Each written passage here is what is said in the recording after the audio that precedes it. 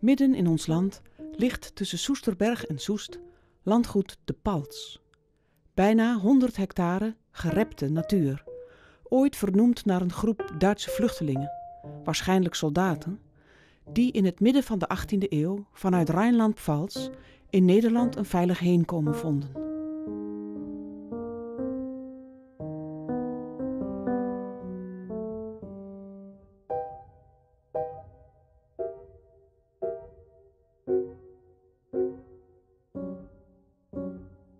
In het hart van dit unieke gebied staat een villa uit 1867 met bijgebouwen.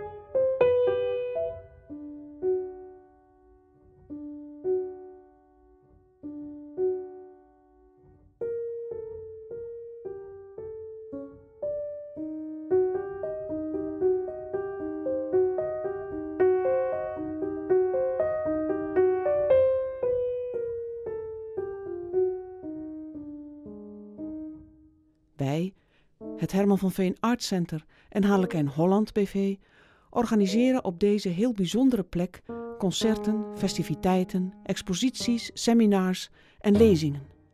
Op bescheiden schaal en passend bij die bosrijke omgeving. Daarbij ligt het accent vooral op het creëren van exposities en speelmogelijkheden voor jonge, begaafde kunstenaars.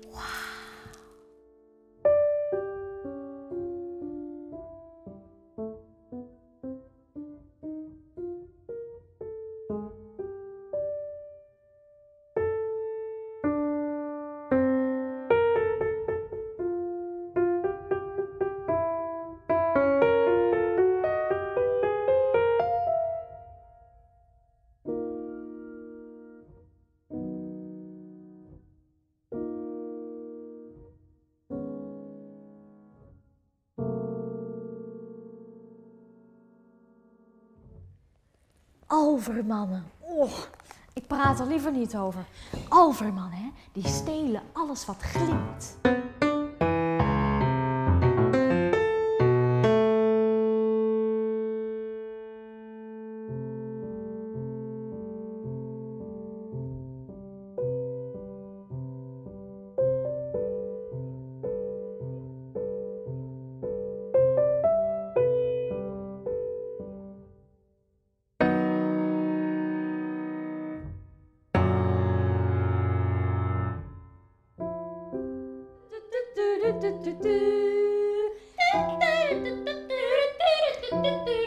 Ditje.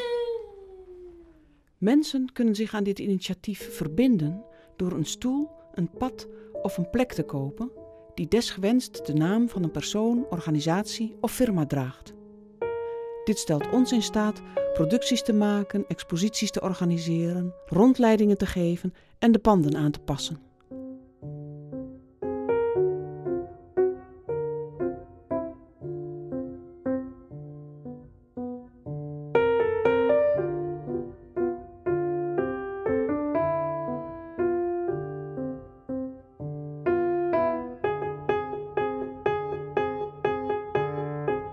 Een stoel, pad of plek geeft het recht met partner of gast aanwezig te zijn bij wat wij ook organiseren.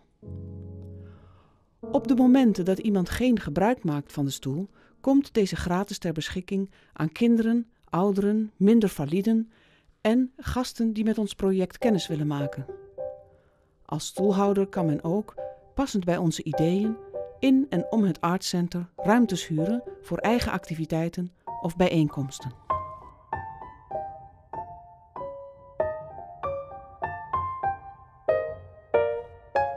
Al meer dan 45 jaar zingt, speelt en schrijft Herman van Veen over wat hem fascineert. Wat wij ervan zien en horen zijn registraties in de vorm van voorstellingen, concerten, lezingen, toneelstukken, films en boeken. Zijn oeuvre toont dat hij in een bijna niet aflatende stroom zijn belevenissen, waarnemingen en ervaringen optekent. Sinds een jaar of twaalf is daar het schilderen bijgekomen. Doeken die hij ooit, na een paar jonge borrels, afdrukken van de ziel noemde. In de villa hangen vooral Hermans werken die geïnspireerd zijn op of gerelateerd zijn aan vier vrouwen. Koningin Juliana. Zij hield in 1952 een opzienbarende speech voor het Amerikaanse congres. Het was een pleidooi voor wereldvrede. Haar motto: een Pax Atlantica. Zinnen uit deze speech, die vandaag nog als opmerkelijk beschouwd kunnen worden, vormden de inspiratie voor een aantal doeken. Margaretha Zelle, bekend geworden als Matahari. Zij trad op in de grote Europese theaters, maar werd tijdens haar leven vaak onterecht weggezet als stripteuze. Ze werd in 1917 als vermeend spionne gefusilleerd. Dat kwam de Franse regering goed uit. Zo konden zij de aandacht afleiden van de duizenden soldaten die in lijkzakken terugkwamen uit de oorlog. Selma Meerbaum-Eisinger zij was een jonge Joodse vrouw die tijdens de Tweede Wereldoorlog vanuit een Duits werkkamp in prachtige gedichten haar liefde voor de natuur en voor een jonge man beschreef. Zij werd niet ouder dan 18. De Nederlandse dichteres en kinderpsychiater Vazalis. Ook haar gedichten zijn de inspiratiebron geweest voor een aantal doeken.